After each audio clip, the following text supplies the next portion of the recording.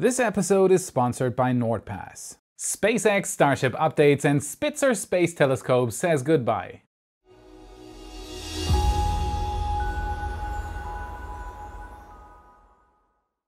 My name is Felix, and I am your host for today's episode of What About It. And as always, there has been a lot going on in the space industry lately, so let's dive right in. Starship updates. If you watch my episodes on a regular basis, you know that this week was a very special one for SpaceX indeed. Not only did they launch their next 60 Starlink satellites, they also got done with the test tanks, and they are now in the first early stages of building that next generation Starship hull. These are the first pictures of a growing Starship. Still in its infancy, it will soon tower over Boca Chica and hopefully not long after that take to the skies and chart the first flight miles for Starships in human history. If the project succeeds, future generations will look at this in the same way we look at the Apollo program. Starship will revolutionize our access to space, making it available for the average person. The next major task ahead for the SpaceX team in Boca Chica is the so-called primary hull structure. This includes everything from the nose cone over the header tanks to main LOX and methane tanks and also the canard fins and the large aft fins. We saw all this already from the outside last fall with Starship Mark 1. It wasn't refined enough to be able to launch. It is very likely that Starship serial number 2 will look similar to Mark 1 with a few changes. Musk already stated that serial number 1's flight design differs from Mark 1's appearance. In what way is hard to say at the moment, but one thing will change for sure. The dents will largely disappear and the welds will be far less and also less visible. Starship is maturing and SpaceX seems to make very good progress. The remains of the second 9-meter test article are being removed from the pad and transported to the scrapyard. It won't be long before we should see SpaceX flesh out the launch mount for the next Starship. My hope is that SpaceX will build something similar to the launch mount at Pad 39A in Florida. This would first of all be a permanent launch mount and not an improvised solution as we saw for Mark 1 and secondly it would be yet another signal from SpaceX that they intend to see this through. There are still a lot of people out there having doubt in SpaceX's seriousness to see this project become a success largely fueled by the failures created by Mark 1 and the Starship seemingly built only as a presentation prop.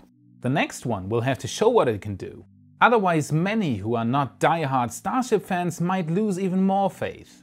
I'll definitely watch the progress though, no matter what happens next, as many of you will do as well for sure. Starship is just too important for a future in space to lose faith quickly. The windbreaker number 2 seems to be almost finished on the outside and one thing becomes more and more apparent. It has quite the different form factor compared to the other windbreaker. This could have multiple possible reasons. One of them of course being that it will serve a slightly different purpose. It might be more of a construction facility for large parts and the larger windbreaker might be the actual vertical assembly building. So in the smallest tents, SpaceX will create the delicate parts, small structures, internal parts and maybe even work on engine preparation. In the Onion tent, SpaceX would then assemble ring segments of stacks of up to roughly 5 rings. This includes tanks pre-built for stacking like they did with the test tanks.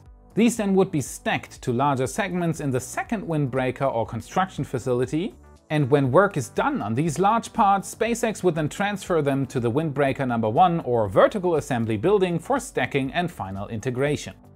This would be an assembly line similar to what the car manufacturing industry uses with the exception that the Starship wouldn't constantly move on a belt of course. It would make much sense for SpaceX to take this approach as well, as the plan is to build many of these prototypes in quick succession and after the prototype phase, which includes figuring out the build process, many, many more. Different manufacturing industries have already proven in the last century that rotating stations along a construction line speed up the process immensely as you can specialize the workers for specific tasks along the manufacturing line. It would also be a very typical approach for Elon Musk. Think outside the box and try to integrate already proven techniques into a new engineering field. No rocket has ever been built on an assembly line. Musk stated numerous times though that he wants to build at least a thousand starships.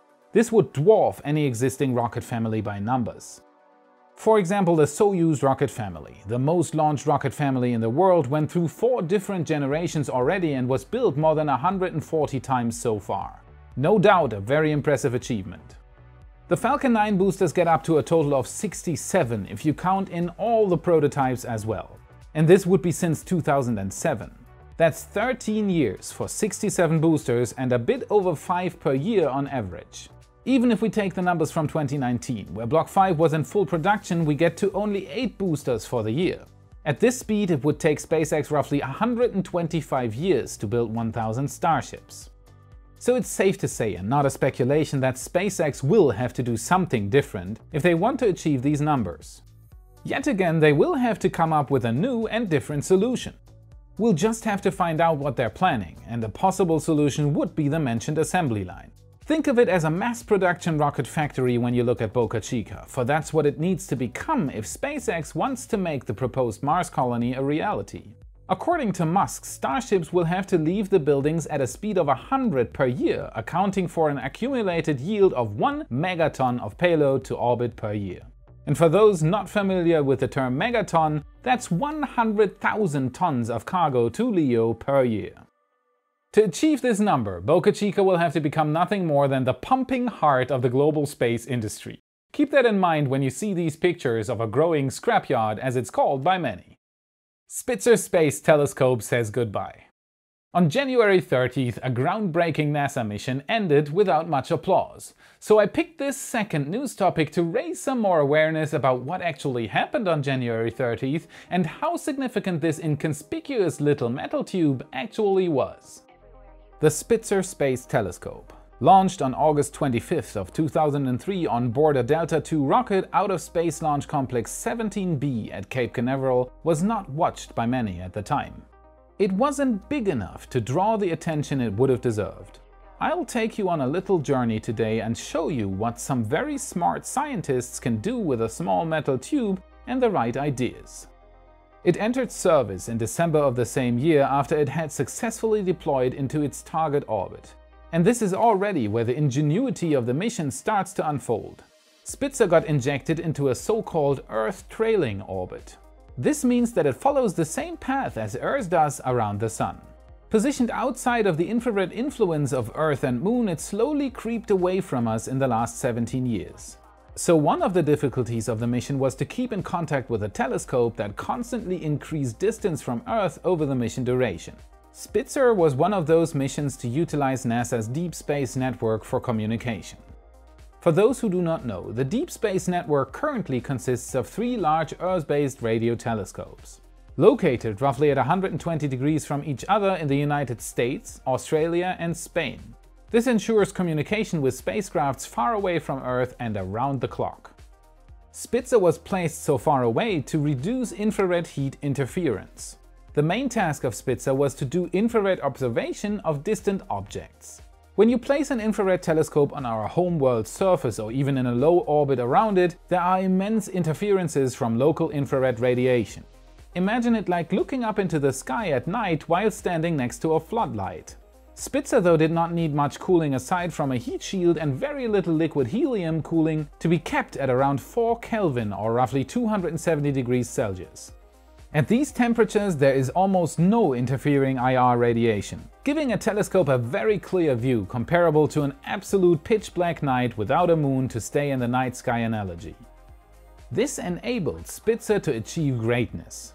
It pushed the boundaries of what we know about the universe and gave us insights into the distant past. The biggest benefit of an infrared telescope is that it's comparable to an X-ray machine when it comes to astronomy. Where Hubble, for example, takes beautiful pictures of the outside of a nebula or galaxy, Spitzer was able to look inside, as infrared radiation is not nearly as much blocked by dust particles. The problem is that most objects out there that are interesting involve a lot of dust and gas. Spitzer was able to look inside galaxies. It was able to take pictures of star systems in their infancy, sending us pictures of forming planets in stellar accretion disks. It gave us insights into the behavior of organic material that is millions of light years away from Earth. In 2005, the Spitzer Space Telescope became the first telescope to directly observe the light emitted by an exoplanet. In this case, the two hot Jupiter-class planets HD 209458b and TRES-1b. This was the first time extrasolar planets had actually been visually seen. In 2004, Spitzer found the youngest star to be currently known in the universe. A faint glow of an early star collecting gas from a nearby nebula. I could go on with this list forever and it is a perfect example of the short length of my episodes. But I hope I was able to show you that Spitzer was not as insignificant as it may have been perceived by the general public. Spitzer was remarkable and it gave us a look at what its successor, the James Webb Space Telescope, might be able to achieve. Where Spitzer only had its small 0.85 meter diameter mirror to achieve all these goals, James Webb will utilize its massive 6.5 meter segmented mirror to go further than we can currently imagine. Why is SpaceX testing so much? Because they have to demonstrate that starships have to be reliable many times in a row. They know that safety is a very important part of what they're doing. Do you know too? How about your personal approach to safety? Today's sponsor could be the solution you're looking for when it comes to organizing and improving your own online security. Have you ever clicked on this or this? How about this one? Don't feel bad, you're just like most other online users. You keep your passwords in your head, Probably short ones you can easily remember, right? Well, most of the time, of course. How about changing that once and for all with a reliable and versatile password manager? NordPass is a new generation password manager where security meets simplicity. It's made by the same experts who are already trusted by over 12 million online users, NordVPN. With a click of a button, you get a centralized locker for passwords so strong you couldn't possibly keep them in your head. On top of that, the service is available no matter where you go, on your PC, tablet or phone. Never do a password recovery again and at the same time support What About It. Get 50% off NordPass at nordpass.com slash whataboutit or use the code WHATABOUTIT. It's only $2.49 per month and you get one additional month for free. So break with old habits with NordPass, link is in the description. So this wraps up today's episode of What About It? How will SpaceX produce 1000 starships? And did you know that Spitzer was so significant for our understanding of the universe? As always, tell me in the comments. And we're at the patron shoutout again, where I show some love for those who go above and beyond when it comes to supporting me and the channel. These people pay money for something that is completely for free. They give vital revenue into the production and they enable me to buy pretty much all the equipment I use. The microphone, the camera, even the monitor I'm gonna edit on later after I record it is funded by the patrons. So show some love in the comments and maybe even consider becoming one yourself. And as always, we have new members on the team. So everyone, please give a warm welcome to Matthew Riddick Boylan, S. Ludwig, Henrik Torphammer, David Cobb, and many others. You rock! Thank you for watching this episode of What About It, and now would be the appropriate time to hit the like button, subscribe, and don't forget to hit the bell button to actually receive a notification when I do my uploads. It's a version of support that doesn't cost a penny, and it does help me to produce more and better content. And if you do want to spend your money, consider becoming a patron and get insights into the production of What About It and chat with me on the Discord. Or you could buy yourself a new shirt on our merchandise store and look like me. There are plenty original designs available in good quality for a low price made by a space nerd for other space nerds. It all helps me to give you the latest and greatest about space and science. I hope to see you on the next episode. Until then, have a great time. So this wraps up today's episode of What About... Yay, yay! 1000 nyuk nyuk. To achieve this number, Boca Chica will have to become nothing less than the global pumping heart of a frickin' sentence. Spitzer Space Telescope. Diameter.